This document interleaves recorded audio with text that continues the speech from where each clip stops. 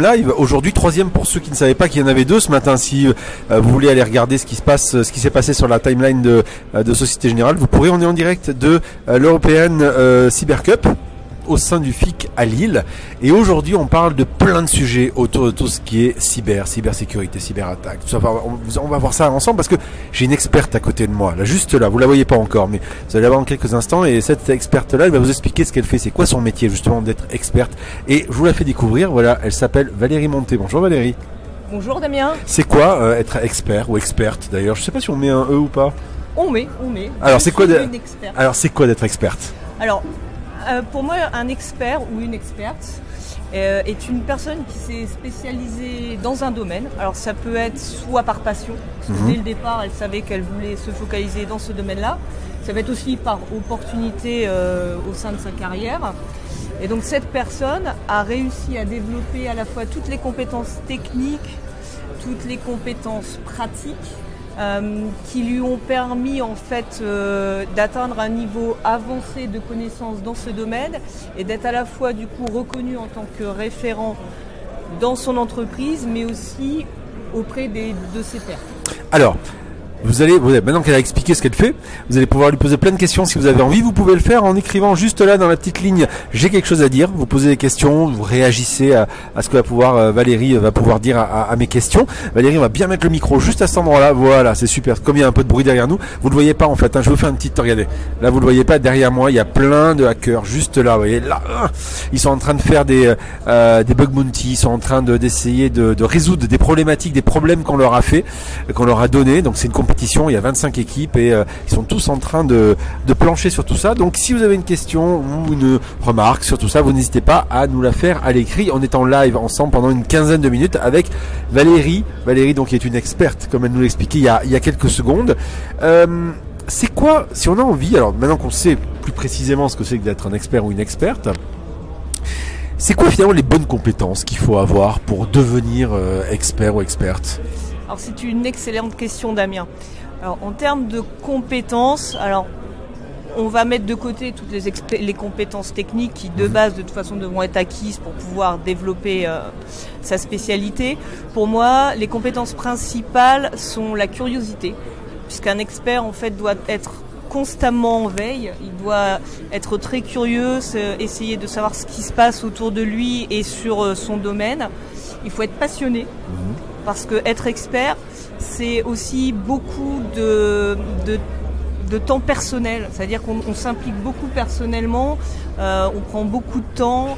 euh, donc il faut être très passionné et intéressé par son domaine. C'est aussi beaucoup de rigueur, des capacités d'analyse, parce que euh, on est souvent, on va dire, mis en mode pompier. Donc on arrive là où au final les, les sujets ont potentiellement pas pu être traités avant. Et, et on attend de l'expert d'une, on va dire une, une analyse pointue, rapide, une analyse précise. pointue, une capacité d'analyse et une capacité de restitution. Parce que l'expert est souvent, a, a souvent besoin de faire de la restitution à différents niveaux. Donc il faut aussi que cette personne-là ait des esprits de synthèse et de bonnes capacités relationnelles. Puisqu'en fait, en étant en relation à différents niveaux, ça peut être euh, à un niveau purement opérationnel, mais ça peut être aussi à un niveau managérial assez élevé. hein. Tout dépend de, de l'expertise et du, de sa position dans l'entreprise. Donc voilà, je pense que grosso modo, c'est à peu près les, les, les principales compétences. Il y en a plein d'autres, on pourra en lister des dizaines, mais on- je pense qu'on va s'arrêter. Alors ça c'est, amus- enfin, c'est amusant, Euh, c'est remarquable au sens où euh, c'est beaucoup ce qu'on appelle des soft skills, donc en gros des, des compétences Exact. personnelles. On pourrait s'attendre, moi c'est ce que je m'attendais comme réponse en premier temps, c'est faut faire une école ou il faut se faire un, un cursus, il faut avoir. des- Alors que j'ai l'impression finalement que, alors tout le monde n'est pas forcément doté de toutes ces compétences, mais si on les a, on a la potentialité de, de devenir un expert. Oui, oui, absolument. En fait, pour moi, les compétences les plus compliquées à développer pour un expert sont- tournent autour du soft skills. Hmm. Les, les- les compétences techniques, soit on les acquiert effectivement par le biais d'écoles, hein, d'écoles euh, d'ingénieurs, d'écoles spécialisées euh, dans le domaine qu'on a choisi, soit par le biais de son expérience. C'est-à-dire on peut Ou démarrer... les deux des fois Ou éventuellement. les deux des fois, on démarre à un niveau, on reste assez généraliste, on se découvre une passion pour un des domaines euh, dans lequel on est. Donc moi typiquement j'étais expert réseau dans ma première partie de mon expérience et j'ai choisi de basculer dans la cyber. Donc j'ai commencé à développer les compétences côté cyber. Donc ça c'est des choses qu'on peut acquérir par le biais de l'apprentissage, de la pratique, etc. Le soft skills, ça reste quand même quelque chose qui est aussi très intrinsèque à la personne et ça n'est pas tout le temps facile pour tout le monde de réussir à euh, acquérir les compétences nécessaires euh, au bon niveau. Ce qui fait finalement la rareté d'un bon expert, ou au moins la rareté de quelqu'un qui est capable de cocher toutes ces cases pour devenir justement expert ou experte. C'est exact. Et c'est pour ça aussi qu'on a, on va dire, on a différentes typologies d'experts. C'est-à-dire que tous les experts ne vont pas intervenir euh, dans les mêmes structures. On a des experts opérationnels qui vont être très production, etc., mhm. pour lesquels on aura certains besoins en soft skills, mais pas la totalité. On a des experts qui deviennent plus référents leaders, mhm. pour lesquels là on attendra de leur part cette bonne capacité de restitution, de d'échange à différents niveaux, que ce soit euh, technique, soft skills, fonctionnel et managérial. Alors, il y a une question qu'on peut se poser aussi, mhm. notamment dans les domaines tech et notamment cyber. Euh, c'est la place des femmes. Alors, c'est un sujet qui est actuellement, enfin qui monte énormément, cette question de la place des femmes dans des domaines où finalement il y a peu, peu de femmes. Mm. Moi j'ai regardé, je suis allé faire un petit tour derrière dans les équipes. Hein. Euh, il y a des équipes d'une dizaine de personnes avec euh, une femme, deux, trois des fois, mais des, des fois zéro. Alors c'est représentatif de rien, mais ça montre quand même une tendance. Euh, et le fait est que dans les domaines tech, on le sait, c'est pas, pas une surprise, hein, les femmes sont sous-représentées. Est-ce que c'est le cas dans, le cas notamment de ces, ces domaines ou de ces métiers d'expertise autour de domaines tech comme la cyber? Alors oui, c'est le cas. Si, on résume en, deux chiffres, aujourd'hui, on va dire que la femme dans l'IT, c'est à peu près 30%. Mhm. La cyber est une petite partie de l'IT et aujourd'hui, je crois que la place de la femme en pourcentage dans la cyber, ça doit être 10%. Mhm. Donc on voit bien que aujourd'hui, même si la place de la femme dans la cyber et dans l'IT en général est reconnue, puisqu'aujourd'hui les entreprises euh, ont beaucoup développé, évolué ces derniers temps. Nous, euh, euh, au sein de, la Société Générale, on, a beaucoup de programmes où justement on communique et en interne et vers l'externe, donc vers les, écoles, les, les, lycées, les écoles d'ingénieurs, etc. On communique énormément sur le fait que la femme, aujourd'hui, dans la cyber, elle a sa place et elle a sa raison d'être puisque cette mixité, cette complémentarité, en fait, il n'y a aucune entreprise aujourd'hui qui vous dira qu'il ne fait pas sens d'avoir une mixité dans ces organisations parce que ça aide à développer, ça aide, on a des visions différentes, on, traite les problèmes parfois de différentes façons et c'est ce qui permet en fait de faire évoluer et euh, de, développer euh, là où parfois euh, dans des structures qui peuvent être purement féminines ou purement masculines, puisqu'on a des domaines où on est très féminin, euh, etc. Et eh ben, on se rend compte que ce manque de mixité, parfois, euh, limite les ouvertures et les potentiels qu'on se donne. C'est pour ça que c'était intéressant de commencer par la question de c'est quoi les bonnes compétences pour être expert ou expert, parce que finalement on se rend compte que c'est pas forcément, on va dire, une barrière, si on peut dire, liée à une technicité. Il faut l'acquérir. Hein mais euh, c'est une dimension aussi de compétences personnelles et qu'il faut, euh, il faut les, euh, les assumer, autrement les, les, développer pour pouvoir accéder à ce, à ce, à ce poste-là. Absolument. Nous les femmes, on est tout autant légitimes qu'un homme sur, ces, sur ces skills de curiosité, de passion. On est aussi curieux et aussi passionné qu'un homme. Je, je pense qu'aujourd'hui, le, le, souci que l'on a, il se situe directement en fait euh, beaucoup plus bas, donc au niveau des lycéennes, au niveau de l'école, etc. Où je pense qu'aujourd'hui les, filles les, euh, estiment qu'en fait ces trucs-là, on va dire ça comme ça, la technique, c'est pas c'est pas pour elles, c'est un truc d'homme. Il y a certainement une euh, méconnaissance. Exactement. Et c'est pour ça qu'on a aujourd'hui beaucoup d'actions de communication. On essaye d'aller vers elles, de leur expliquer, de leur montrer qu'aujourd'hui, femmes ou hommes, euh, la cyber, l'IT, euh, ça fait sens. Mhm. Et, en fait, je pense que c'est ça par ce travail de communication continue euh, d'aller vers ces personnes, de leur montrer qu'en fait, l'IT, c'est pas un truc de mec, c'est un truc d'hommes et de femmes. C'est ça, de gens passionnés sur leur sujet. De gens passionnés, en fait, c'est exactement ça. Alors pour continuer justement à essayer de comprendre ce que c'est que le métier, le circonscrire. Si vous avez des questions, n'hésitez pas dans le, dans le chat. Euh, essayez de comprendre un peu le, le métier au quotidien. Alors, euh, vous, vous faites quoi? Vous pilotez quoi en tant qu'experte au sein de Société Générale? Alors aujourd'hui, je suis ce qui s'appelle responsable adjointe du SOC. Donc Mhm. le SOC, c'est le Security Operational Center, donc le centre de sécurité opérationnelle de la Société Générale. Donc moi, je drive avec les experts dans, dans mes équipes. Euh, nous sommes les équipes de défense. Donc, C'est-à-dire que on, on s'occupe de la, le- de la mise en place de la détection euh, pour la Société Générale, donc ce qu'on appelle, alors, pour ceux qui conna- connaissent le domaine, ce qui s'appelle les Blue Teams. Euh, et donc on est là, en fait, on, dé- on déploie et on gère tous les outils qui vont permettre de détecter les, les éventuelles attaques qui viennent donc de l'extérieur, de développer les protections et euh, de travailler de concertation avec les, les- les équipes de réponse à incidents, etc., pour euh, être en mesure en fait de, de- de stopper euh, toute attaque et de protéger la société générale. Donc c'est vraiment le- la dimension de rempart. Exactement. Nous sommes les remparts, nous sommes les, les cavaliers, nous sommes la muraille autour du château. Et euh, on a nos certains, enfin on a nos amis qu'on appelle le CERT ou la Red Team, qui sont là aussi un petit peu pour nous challenger, nous titiller, euh, histoire qu'on ne s'endort pas non plus sur nos lauriers. Donc effectivement, comme la, menace évolue énormément, on, le voyait dans les, on en a parlé dans les deux lives précédents. Allez les écouter, vous verrez. Euh, il est évident qu'il est nécessaire d'être tout le temps sur la brèche et de se tenir extrêmement au courant de l'évolution de tous les nouvelles types de cyberattaques qu'il peut y avoir. Oui, absolument.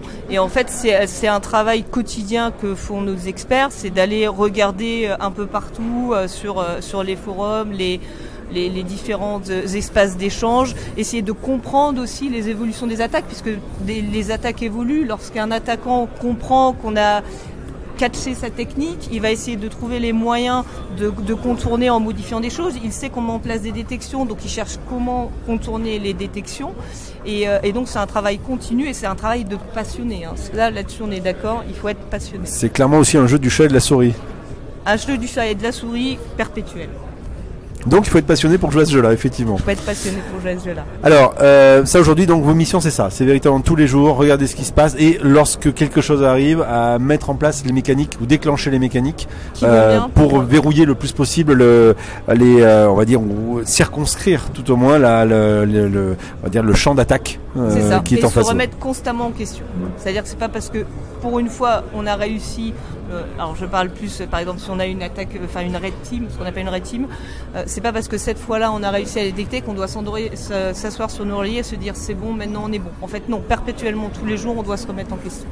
C'est-à-dire que tous les jours, le travail, il y a des équipes qui sont, d'abord, tous les jours sont, sont des équipes qui sont euh, au même endroit, qui sont séparées, c'est Alors elles sont séparées Mhm. justement pour euh, pour répartir pour, pour le. garder en fait euh, ne pas être jugé parti en même temps. Donc elles sont séparées et c'est logique. Alors c'est pas tous les jours heureusement, c'est c'est des séquences, on ne sait pas quand elles arrivent. Euh, c'est des séquences qui arrivent euh, de temps en temps sur certains périmètres, sur certaines zones et euh, qui nous permettent de pratiquer et de confirmer, valider les détections que l'on a mis en place et de s'assurer qu'on est bien toujours au bon niveau. Alors, ça c'est un des métiers existants. Mhm. Quels sont les, les autres métiers qui peuvent exister dans la, cy- dans la cybersécurité? Alors, Il y en a beaucoup, j'imagine, mais Ouais. les grandes familles, pour ceux qui ne connaissent pas et qui s'intéressent peut-être à tout ça.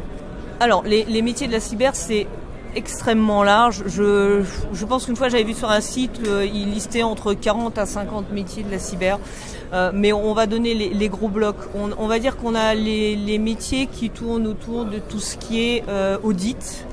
Donc euh, on a des, des équipes d'audit interne donc, qui viennent auditer de part et d'autre les, les différentes infrastructures au sein de l'AEG. Tout ce qui tourne aussi autour des risques IT, de la compliance, des réglementations. Donc ça c'est des métiers qui sont euh, euh, on va dire plutôt euh, sur de la connaissance de, de, de réglementation, du soft skill, etc. Et derrière, on a des, des métiers plus sur l'opérationnel, donc dont on fait partie. Donc il y a le SOC, il y a le CERF, donc qui est donc euh, plutôt l'équipe offensive, Mhm. et il y a aussi toutes les équipes euh, opérationnelles euh, au niveau infrastructure, donc les équipes qui vont gérer la sécurité opérationnelle des serveurs, des firewalls, des réseaux, de la workplace. Donc ça c'est un autre métier.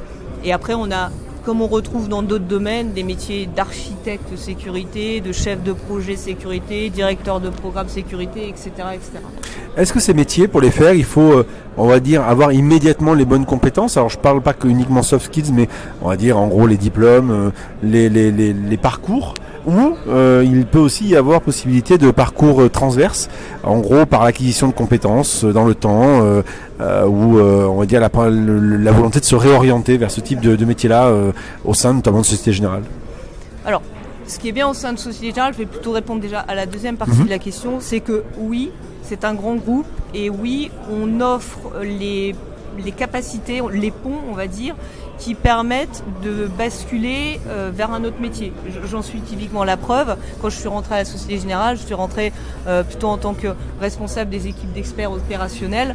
Et lorsqu'il y a deux ans et quelques, j'ai choisi de basculer dans la cyber, euh, j'ai eu cette opportunité et on ne m'a pas bloqué, on a même favorisé euh, ma mobilité. Donc ça, c'est des choses que peuvent offrir un grand groupe. C'est si demain on veut changer, on a la capacité de changer, de basculer vers un autre métier dans la cyber ou un autre Mhm. métier dans l'IT.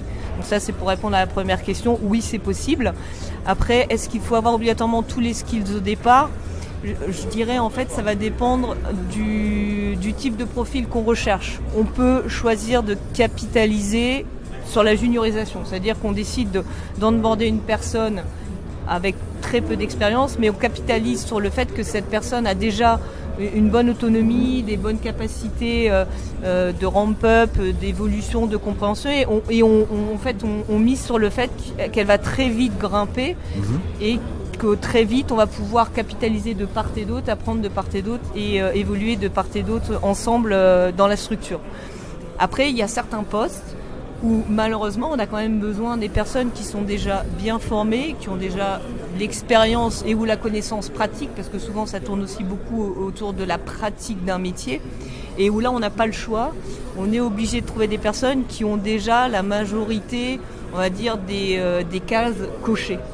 On peut se dire que tout n'est pas là et qu'on a une- un ramp-up à prévoir, mais on a quand même besoin d'avoir ces bases et cette expérience minimale pour pouvoir, euh, bah, pour pouvoir recruter la personne. Alors, pour, euh, pour finir aujourd'hui, est-ce que les, les métiers évoluent aussi au, euh, on va dire à, à l'aune de l'évolution des différentes menaces?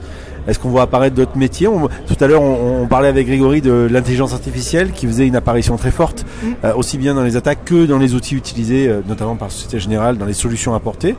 Euh, est-ce que typiquement, être un expert ou une experte IA, c'est quelque chose qui, auquel on ne pensait pas il y a quelques années et qui aujourd'hui peut entrer dans le, dans le scope des, des métiers qui peuvent être de la cyber. Alors, oui, effectivement, les Je, experts. je prends cet exemple-là en particulier, Oui, mais non, non, mais on- c'est un, passer- très, passe- un très ouais, bon pardon. exemple. Euh, alors, oui, l'IA, on n'en parlait pas il y a quelques années, c'est clair. Aujourd'hui, on voit tout, comme, enfin, tout ce qui est data science, etc., Mhm. on n'en parlait pas. Aujourd'hui, c'est des choses qu'on retrouve de plus en plus et qu'on recrute de plus en plus dans les entreprises. Euh, la spécialisation dans l'IA arrive, puisque finalement, euh, on a des personnes qui vont spécialiser dans l'IA sur la médecine, Mhm. sur la cyber, etc., parce que les besoins ne sont pas les mêmes. Et donc, pour ils pouvoir... sont des verticales en fait. Exactement.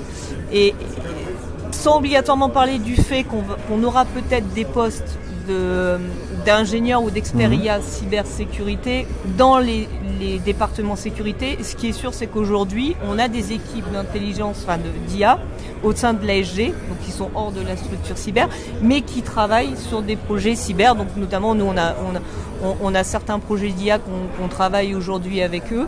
Euh, donc oui, après, est-ce que ça rentrera en tant que métier de la cyber ou pas? Je pense que ça dépendra un petit peu de l'organisation de chacune des entreprises.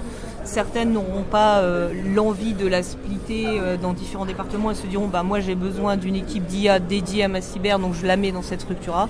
D'autres feront le choix d'avoir une équipe une équipe globale et qui répondra aux différents besoins lorsqu'ils arriveront. Un peu en mode agile. Ouais.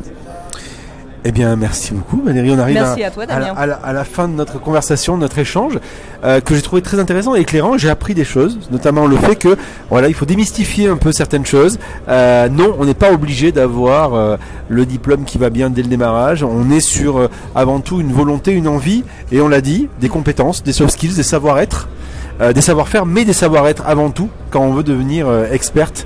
Et typiquement dans l'exemple euh, qui était donné aujourd'hui euh, au sein de Société Générale. Voilà, c'est la fin de nos trois de trop live aujourd'hui qu'on a qu'on a eu ensemble. Voilà, désolé, euh, je vais sortir du cadre. Je suis désolé. Euh, c'est pas du tout pour voler la vedette, mais voilà, c'est juste pour dire euh, de face caméra euh, merci à tous ceux qui nous ont suivis, tous ceux qui, euh, qui vont nous suivre, puisque il y a un replay, bien entendu, qui est disponible, les trois replays qui sont disponibles sur le Twitter de, de Société Générale. J'ai eu beaucoup de plaisir à pouvoir faire aujourd'hui ces trois lives avec vous, et donc à très vite, à très vite pour à nouveau parler de tous ces métiers, toutes ces compétences, de toutes ces évolutions, ces tendances, et même faire de la prospective autour de ces domaines que sont euh, l'IT et euh, notamment la cybersécurité. À très vite.